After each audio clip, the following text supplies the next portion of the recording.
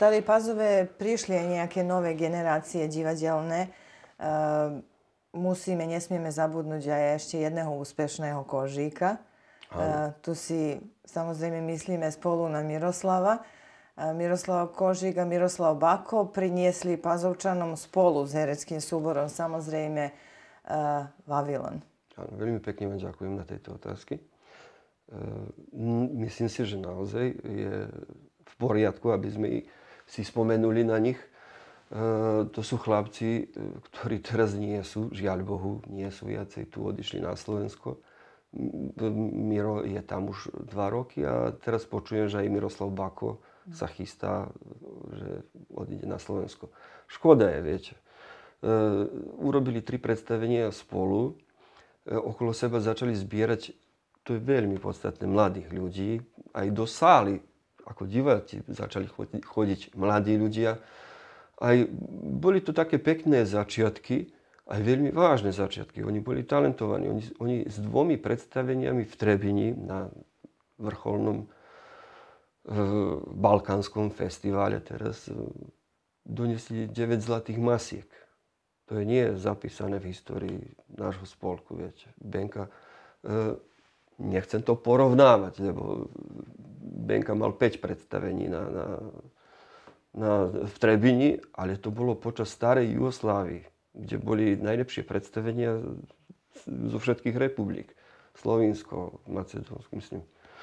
Vie sa, ako vyzerala naša Jugoslávia vtedy a ako sa vtedy robilo. Vtedy naozaj bola veľká konkurencia aj veľmi ťažko sa dostávalo do Trebinia a my sme s Benkovými predstaveniami boli 5 krát.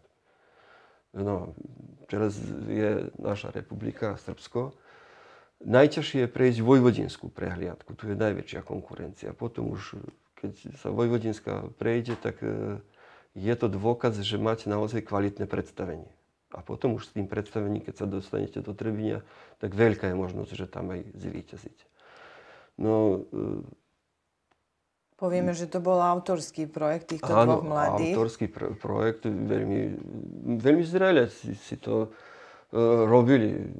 Veľká zásluha tu patrí aj Miroslavovi Bakovi, ktorý svojou autorskou hudbou uh, naozaj veľmi, veľmi silné emócie vyvolával a to bolo veľmi silné. Ja som prekvapený, ja som hral vo Vavilóne. S tým sme pochodili tiež, aj na Slovensku sme boli na scenickej žatve, aj v Trebini, aj boli sme v Novom Pazáre, veľmi sme boli dobre prijatí tam. A potom spravili druhé predstavenie Ad Infinitum, Infinitum, ja som v tom nehral. Tiež to predstavenie, ja som bol prekvapený, na akej vysokej úrovni to bolo odrobené. Ja som ako človek, ktorý dlho e, robil ten spôsob, na ten spôsob divadlo, bol veľmi prekvapený, že toto bolo veľmi úspešne spravené. Aj esteticky pekne, aj hudobne, aj kostýmy. To bolo veľmi... Viete, bol som hrdý na to, že sa pokračovalo v tej tradícii, ktorú sme začali z SOS. O tom, aká je situácia dnes v našom divadle, nebudeme hovoriť na samom začiatku rozhovoru, to si aj trochu spomenul. E, vrátime sa na tie úspechy, ale aj na tie tvoje osobné úspechy. E, pochvaly, diplomy, uznania, potlesk, tvoj vzťah s obecenstvom. E, pred nami máme početné tvoje ďakovné listiny. Čo všetko toto znamená pre teba? To je môj život. To je Skrátka, tak, skrátka, ale dá sa o tom rozprávať veľa. Viete, divadlo... Predpokladám, že každý diplom, každá ďakovná listina, plaketa má svoju rozprávku. Tak, tak ja som včera počítal.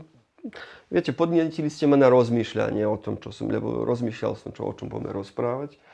A aby som e, o tom mohol rozprávať, ja som si musel nejaké veci pohľadať a každé, každý tá, tá fotografia niečo rozpráva. Napríklad, toto je fotografia z nakrúcania filmu Dračie srdce. Hollywoodský film, v ktorom hlas draka e, hrá Sean Connery.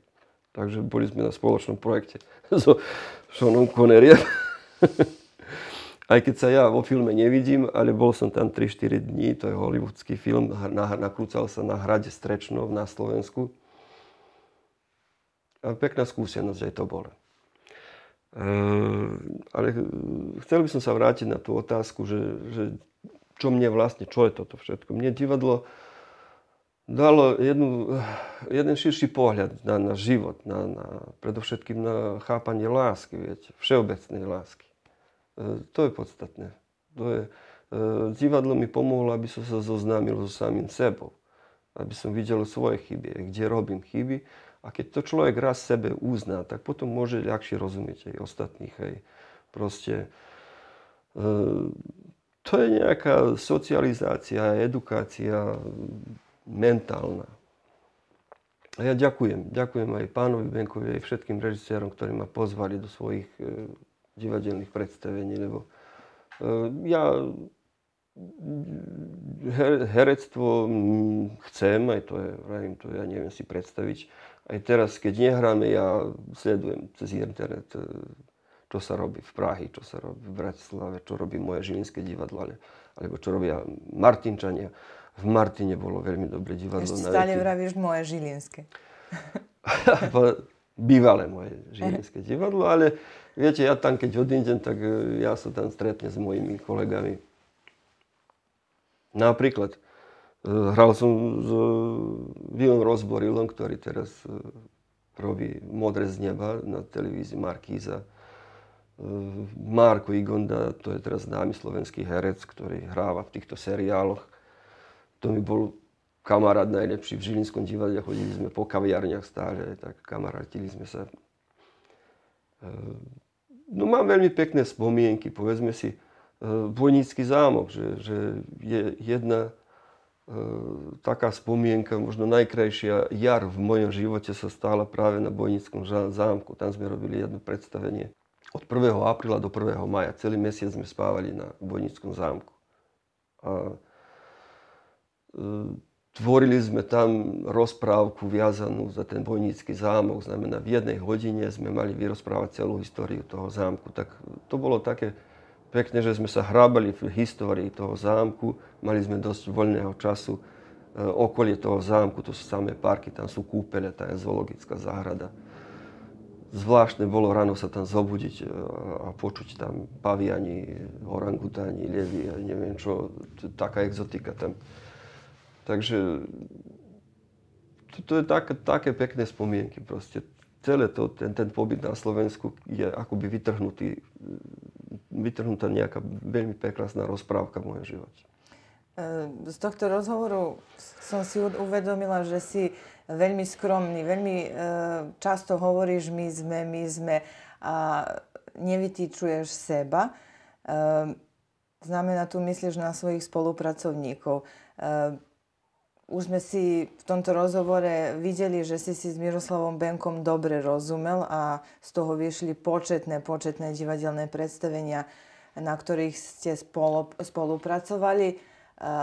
Ako to ide o ostatné partnerky a partnerov, s ktorými si hral? Predpokladám, že s niektorými hercami bolo ľahšie spolupracovať, niektorými ťažšie. Ja teraz rozmýšľam, akú odpoveď dám. Ale e, otázka je dosť e, široká. Povedzme si, e, čo sa týka spolupráci s Miroslavom Benkom. Treba povedať to, že tie začiatky, tie 80. roky patria Miroslavovi Benkovi. Aj pozdejšie on robil, ale vtedy bolo to najintenzívnejšie. A Miroslav Benka je režisér, ktorý vždy mal jasnú koncepciu, režijnú koncepciu a vedel veľmi dobre urobiť výber hercov navádzať nás, na, na, aby dostal z nás to, čo je potrebné za, te, za to predstavenie. A tie úspechy, ktoré sme mali pri každom predstavení, znamená, každé naše predstavenie, ktoré sme s Benkom vtedy spravili, dosiahlo Úspech. vrcholné tie festivály. A čo je. To bolo ako magnet, ktorý vás potom zase ťahá, aby ste chceli zase sa zapojiť do, do druhého predstavenia. Takže tá spolupráca boli, bola veľmi plodná. Spomínal si už v našom rozhovore niektorých starších hercov, Chcem staropazovských, že, že som veľmi na rád. ktorých si píšný, že si práve s nimi hrával áno, divadlo. Áno. Ale chcem Často povedať... si hrával aj s Bákom, Verešom. Áno, áno. Chcel som sa k tomu. Som veľmi hrdý na to, že som mal tú možnosť robiť e, divadlo aj na veľmi vysokej umeleckej úrovni. A potom mali sme aj naše e, divadielko v Starej Pázove, kde sme robili aj sketch. Viete, ja naj, najväčšie, aj najkrajšie, e, alebo najšťastnejšie chvíle mám práve z tých sketchov. My sme e, tie skeče robili v Lastovičky, v Krčmičky. Mali sme veľkú radosť z toho, že keď sme vyšli pred našich divákov, to nám tlieskali, ja neviem, nemôžem teraz použiť správne slovo, ale proste e, veľkú radosť nám robili tie skeče. Povedal si nám, že tie 80. roky akoby patrili Miroslavovi Benkovi. Ty si začiatkom 90. bol na Slovensku, potom si sa znovu vrátil do Starej Pazovy a tu začínaš, e, pokračuješ vlastne tvoriť aj ako herec, aj ako režisér s ostatnými pazovčanmi, ktorí sú ochotníci a aktívni. No, e, musíme tu predovšetkým Alexandra Báka spomenúť, ktorý, e, keď Benka odišiel na Slovensko, tak tu sa tu bolo, tak, ta, bolo také prázdne miesto, nemal kto režirovať. Takže našťastie, že Saša sa prichytil tej taktovky režínej, aj že spravil strašne veľa predstavení. Ja neviem teraz napočítať všetky. Viem, že bolo Trasovisko, viem, že bola Denigany Frankovej, potom ja som sa vrátil zo Slovenska, potom som už hral 20 minút za nielom, posledná prekážka, maratonci bežia čestné kolo, neviem, Línu Zomerovú robil ešte, keď sme boli na, na Slovensku. A spravilo sa matku od Juliusa Ivana Barča, to bolo tiež pekné predstavenie. Hral som tam Paľa, to bola tiež taká pozitívna. A veľmi sa nám dobre spolupracovalo. Bol to Janko Šarkezi, Šáram, Vlada Verešov, Mamika, Zlatko Fábri, Marica Rumanová, Marka Chlebianová, Helena Popová teraz, povedzme si, veľmi dobrá herečka. Škoda, že, že sa málo teraz robí divadlo, že prosto sa málo, málo sa môžeme zapájať. Aj, málo môžeme zapájať mladých, viete. Škoda je, že, že e, nemáme mladých. Proste tá generácia, ktorú som teraz spomenul, ešte dnes by hrala, keby sa robilo niečo. Ale kde sú mladí? Kde sú tí 20-roční, 25-roční, 30-roční, 35-roční, 40-roční? Kde sú tie generácie? Viete? Zanikli, alebo, ja neviem, nenaštepili sme ich, možno je to naša vina. Neviem. Veľmi ste jednu dobu, vy ako herecká ekipa, boli populárni aj s tými skečami po zuzanských zábavách. No to, tie skeče nám robili najväčšiu radosť, môžem povedať. Že tu sme dostali nejakú hereckú rutinu, že sme dostali tú slobodu. Nebali sme sa vyjsť na javisko, aj keď sme niekedy boli aj nepripravení. Niekedy sa aj hambím za niektoré skeče, kde sme vyšli a proste nemali sme tam koniec. Najťažšie bolo na tom skeči spraviť koniec. máš nejaký víc, máš niečo, nejakú fóru, spravíš, ale potom nevieš, ako odídeš už z toho javiska, lebo ale mali sme zo pár skečov, ktorí, ktorí sú chýreči, ako bratia Maglovďanovci, alebo ginekolog, alebo neviem. Bolo zo pár, povedzme, lokice sme mali, keď sme sa obliekali ako lokice, ako ženy a tančili sme na Anka, Anka, ja ťa ľúbim. Ja viem, že diváci vrieskali, keď sme vyšli. Že proste volali nás na bis.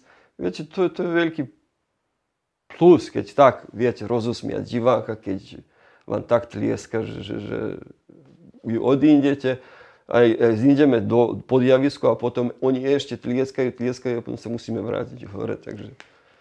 Ale tebe, tebe Zdenko obecenstvo tlieska, aj keď hráš v skeči, aj keď hráš chlieba hry, aj keď hráš napríklad paľa v matke, ako sme to hovorili.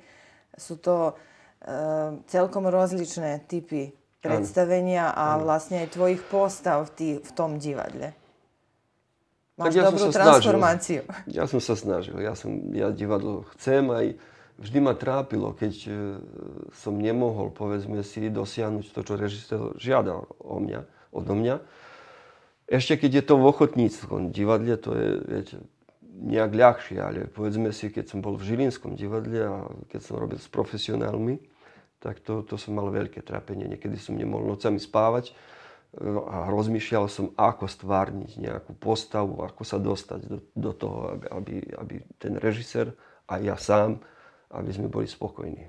Niekedy je to ťažko, viete, keď sa nepotrafí na prvú loptu, že dostanete tú postavu, ktorá vám leží. A potom neviete hľadať. A to, čím viacej hľadáte, to je tak ako ťažšie. Keď na prvé čítanie, keď pocítite, áno, to je to, vtedy je to ľahko. Ale keď e, čítate a, a cítite, že, že sa nenachádzate v tom, tak to je problém vtedy. Zdaj... Ale našťastie, mal som to šťastie, že vždy som sa nejak dopracoval do toho, aby to bolo aspoň, ako mám povedať, aspoň dobre. Ak nie výborne. E, Zdenko, tešila som sa na tento rozhovor a nazdávam sa, že aj televízni diváci budú z našej rozprávky mať e, pekný pôžitok, aspoň o polovicu taký silný, ako keď teba pozerajú na divadelných doskách v nejakom divadelnom predstavení. E, predpokladám, že tvoje divadelné sny nie sú ešte všetky vysnívané. Ja sa názdam. Ja sa názdam. Ale už nesnívam tak, ako, si, ako kedysi. Viete, už je to trochu také normálnejšie.